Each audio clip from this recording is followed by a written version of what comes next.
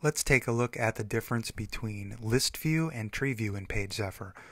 This is the PageZephyr main window we're looking at here on the screen. On the left is the list of files and I'm in list view right now which gives me an alphabetical listing of the files but it doesn't tell me where they are. If I need to know where the file is I can always right click or control click on the file and do reveal in Finder but we do have a view mode in PageZephyr called Tree View, and I'm going to bring up the preference file here.